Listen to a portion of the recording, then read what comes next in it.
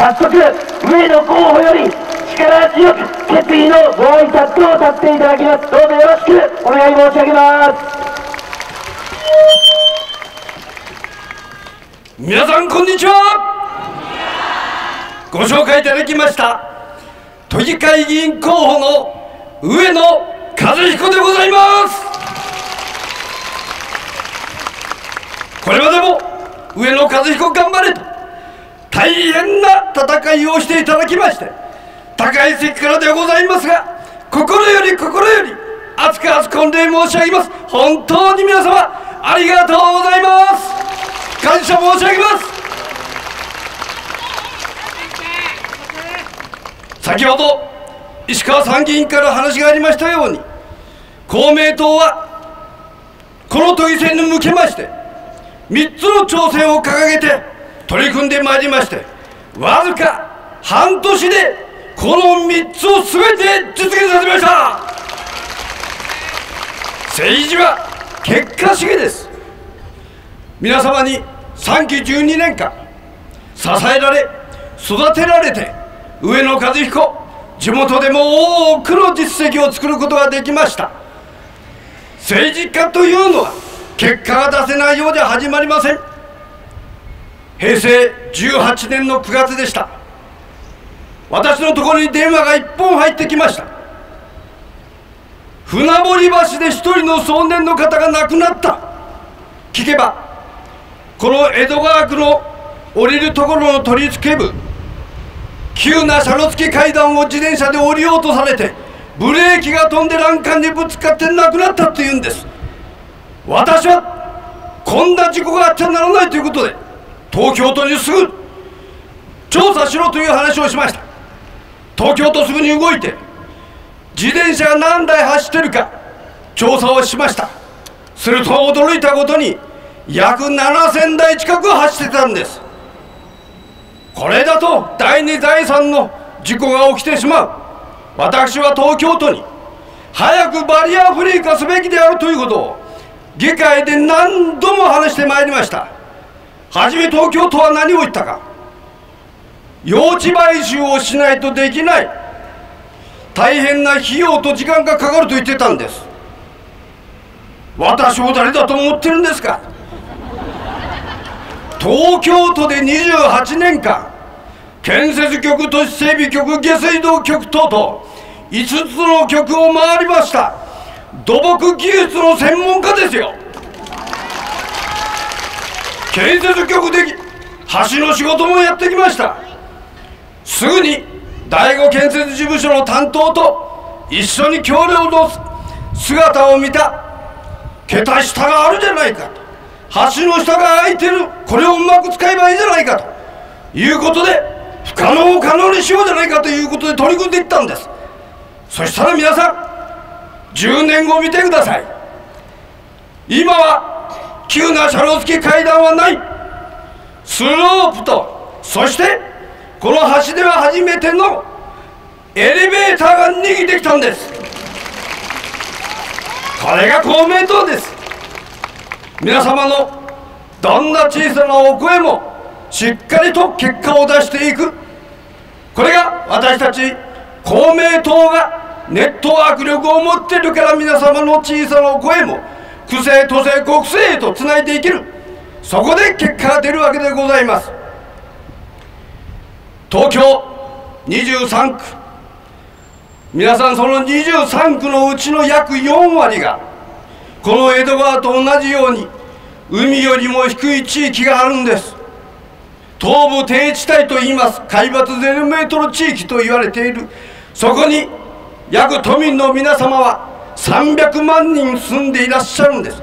生活をされていらっしゃいます。その都民の皆様の命と財産を地震津波高潮から守っているのが堤防護岸であり水門排水機場なんです。私が都議会議員になったばかりの頃東京都はこの堤防護岸は耐震化されてると言ってたんです。都民のほとんどの方が安心されてました。都議会議員のほとんどが安心しておりました。そうした中で一人の都議会議員が首都直下地震が来たら危ないんじゃないか？壊れるんじゃないか？って言ってたトイガイがいたんですよ。今日は勇気を持ってそのトイガイの名前言いますが上野和彦ですよ。上野和彦だけ言ってたんです。東京と富を流しちゃいけないよその耐震化というのは関東大震災級の地震ではないか。その後に阪神・淡路大震災がありました。マグニチュード7.3で直下型。まさにこれから東京を襲うであろう間違いなく襲う首都直下地震と同じ規模です。こうした厳しい激しい地震にあった時に堤防が持たなければ大変なことになる。東京都はなかなか動かなかったんです。予算がかかるからなんです。そこで変わったのが実は平成23年3月11日東日本大震災がおります起こりました。1000年に一度の地震が起きてこれは大変だと。最大級の地震を考えて堤防護岸水門が持つかどうかをやらなきゃならない。まさに上野都議会議が言ってたことをやらなきゃならないということで平成24年から計画を立てていったんです。調査して皆さん驚きました。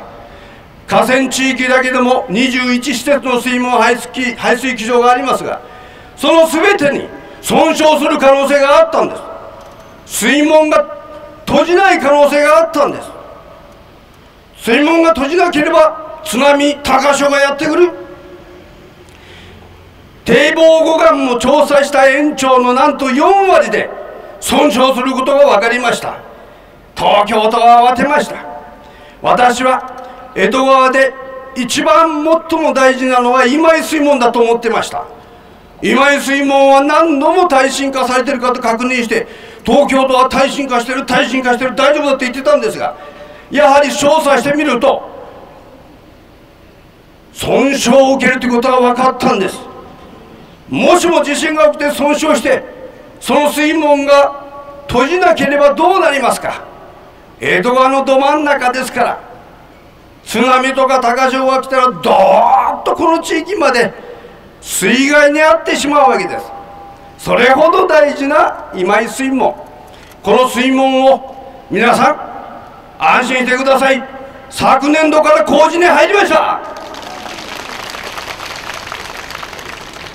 2020年東京オリンピック前までにはしっかりとこの耐震化耐水化というのが完成することになります。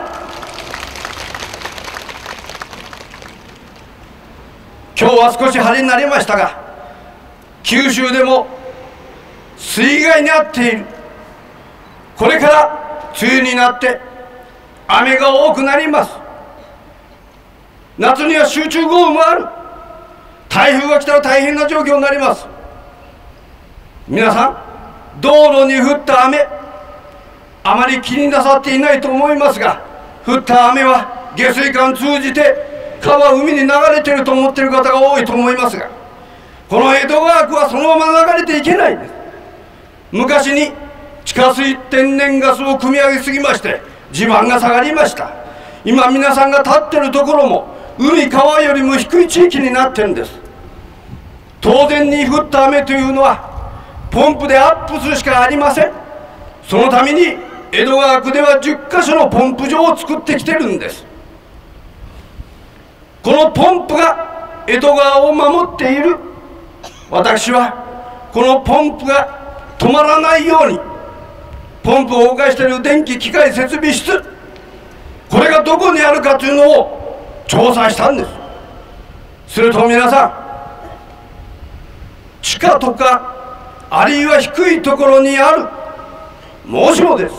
水害に遭ったら電気が止まるようになるんです。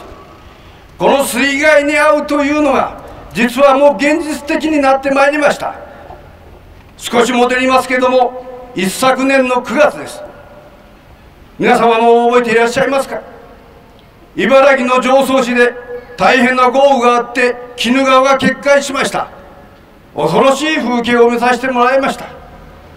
これは線状降水帯という耳慣れない聞き慣れない気象現象でございます。この線状降水帯というのは何時間も60ミリ70ミリ80ミリの雨が降り続ける。あの伊豆大島もそうした状況の中で土砂崩れが起きたわけでございます。国土交通省当時太田大臣が言いました。私に話してくれました。あの線状降水帯がもっと西の方にずれていたならば荒川江戸川決壊した可能性があると言われたんです。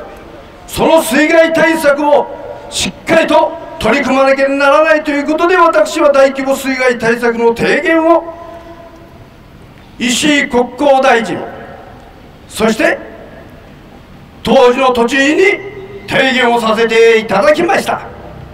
このように私たちの住んでるところで水害に遭わないという保証がないあった時にポンプが動かなきゃどうしようもないということで電気機械設備室を全て高潮より上に上げるべきだということを訴えてまいりまして東京都は皆さん2020年オリンピック前までには上げることが決定したわけでございます。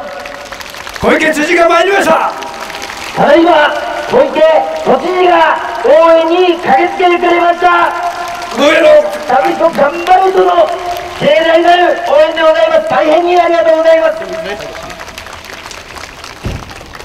上野和彦しっかりとこの東京を改革してまいりたい都民のための東京改革を小池知事とともにやらせてください。勝たせてください。勝たせてください。よろしくお願い申し上げます。ただいまのは公明党公認都民ファースト会推薦の上野和彦の決意のご挨拶でございました。それでは本日大変ご公務ご多忙の中上野の応援に駆けつけてくださいました。この東京都知事小池百合子都知事よりご挨拶をいただきます。皆さんこんにちは。梅雨の合間都議選も今日で4日目となりました。私都民ファーストの会代表小池百合子。上野和弘さんの和彦さんの応援にここ船堀駅に駆けつけさせていただきました。よろしくお願いを申し上げます。あら緑の人もいっぱい。ありがとうございます。はい。上野和彦さんこれまでも都議会で大活躍でございます。そして私の東京大改革。これを議会からも進めなければということで議員報酬を2割削減。身を切る改革というのは大変なんですが私も知事としての報酬をざっぱと半分に切りました。体重はなかなか減りませんがでも思い切って覚悟を持って年収年収報酬を半分に切りました。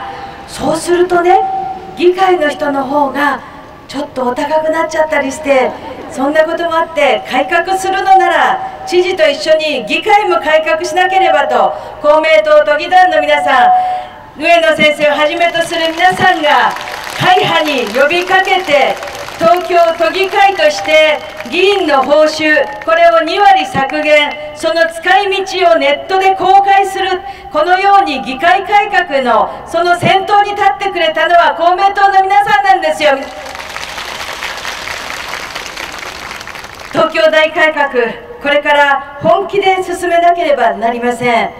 2020年のオリンピック・パラリンピックの準備もこれから加速度的に進めてまいります。そしてまたこれからの豊洲の移転につきましても安全性をもう一度確認するためにも追加工事っていうのはやらなくちゃいけない。まあ4000億かけてもまだまだそのようなことが必要ということで合計6000億になっちゃってます。それをどういうふうに生かしていくのかということをこれからの都議会ともしっかり連携を取りながら進めていかなければなりません。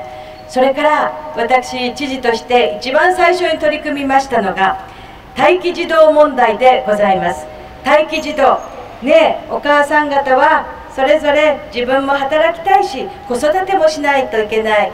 ということでこの待機児童というのがイコール東京問題として大きな課題になっているわけでございます。ましてやこの東京は今や人手不足時代。有効求人倍率というその人手不足を図る目安がありますけれども1人に対して2つ職業がありますよというそういう選択になっている。そうなるとね皆さん保育士の資格を持っておられる方が保育の現場に行かないでむしろ割のいい方の職業仕事に就いちゃうものだから保育士さんが足りないという話になっちゃうんですね。まず知事になりまして126億円の緊急補正予算を待機児童対策でつけました。そして年度が変わりまして今新年度予算には昨年度と比べて400億円ガバッとつけましたね上野先生。そして本気で東京都はこの待機児童対策をするんだ。1381億円の子育てそして待機児童対策。これをお認めいただいたのもこの公明党の皆さんのおかげでございます。さらに申し上げましたように保育士さんその1380億円の中には保育士さんがせっかく持っている保育士のその資格を保育士さんとして使っていただけるように都として4万1000円上乗せをしてねだから保育士の仕事プライドを持って誇りを持ってそして何よりも小さな赤ちゃんのその命を守る大切な仕事なんですからぜひお願いしますねと人の確保をいたしました。そしてまた人場所金というならば場所これにつきましてはこれからも都立の公園を有効に生かしてそこのバーの一角を使って保育施設に変えていく。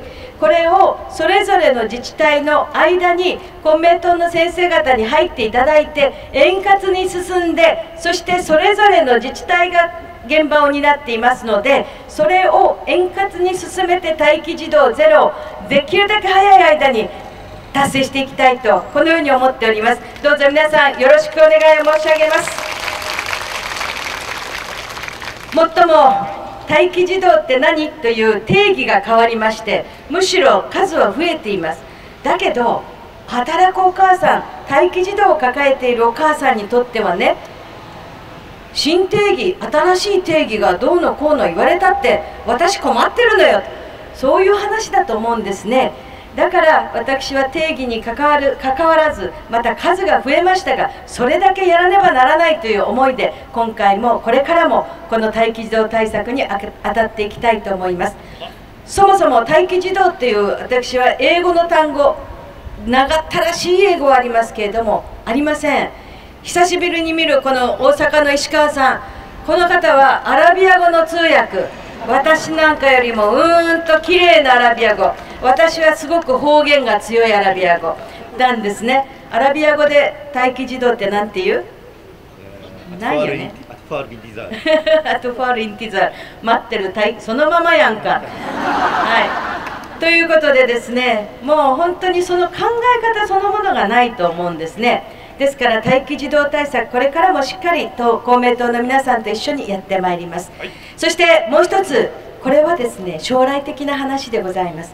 2020年オリンピック・パラリンピック。そしてその後の5年後2025年どういうことが東京に起こるのか皆さんご存知でしょうか？これはこれは今日は若人ばかりいらっしゃいますけれども 団塊の世代の皆さんいよいよ2025年には後期高齢者入りおめでとうございます。老いていくんですこの東京。人口が減っていくんですこの東京。そのための準備をしていきましょう。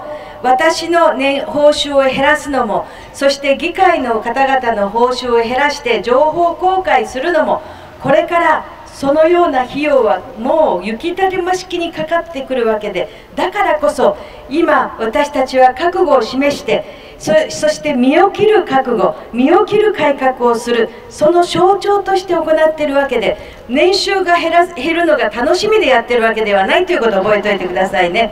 さあ上野さん盆栽防災盆栽じゃないね。防災減災のプロでございます。昨日も長野であの震災が起こりましたね。いつこの東京を直下型地震が起こるか分かりません。そしてこの地域も水没するなどというような危険を感じている方も多いかと思います。だからこそこれからもですねしっかりとした対策危機管理ですね。これを含めて取っていかなければならない際に都議会においては防災減災というと上野康彦さんしかいない。私あごめんなさい。和彦さんしか さっきなごめんごめん。はい。和彦さんしかいない。そういうふうに私は思うんだけど皆さんもそうでしょさあ皆さん都議会議員選挙はオリンピックと一緒です。皆さんに選手として参加してくださいとオリンピックに対して言っているのではございません。ちょっと間に合わないからね。でも間に合うことそれは同じく4年に1回のこの東京都議選東京都議選に1票を上野和彦さんに投票することでございます。上野さん欠かせない人です。公明党都議団をこれからますます力強く引っ張っていくそのパワーそして都議会におけます質問力そして提案力私は大いに期待をいたしております。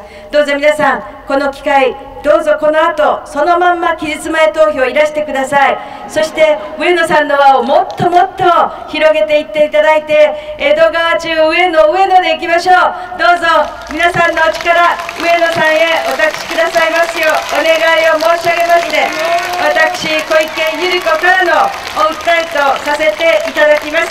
ありがとうございました。ありがとうございました。ありがとうございます。大変にありがとうございました。ただいまのは都民ファーストの会代表小池知事からの力強い激励でございました。大変にありがとうございました。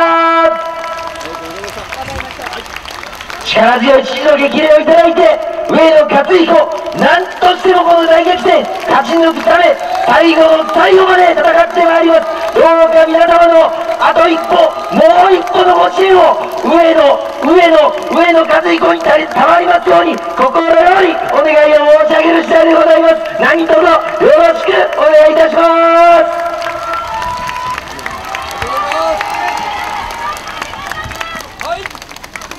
以上。以上。以上をもちまして都議会議員候補上野和彦の街頭演説会を終了させていただきます。本日は平日大変にお忙しい中多くの皆様駆けつけていただきまして心より感謝と御礼を申し上げる次第でございます。またご近隣の皆様におかれましては大きなスピーカー音量でお騒がせをいたしましたことお詫びを申し上げて街頭演説を終了させていただきます。大変にありがとうございました。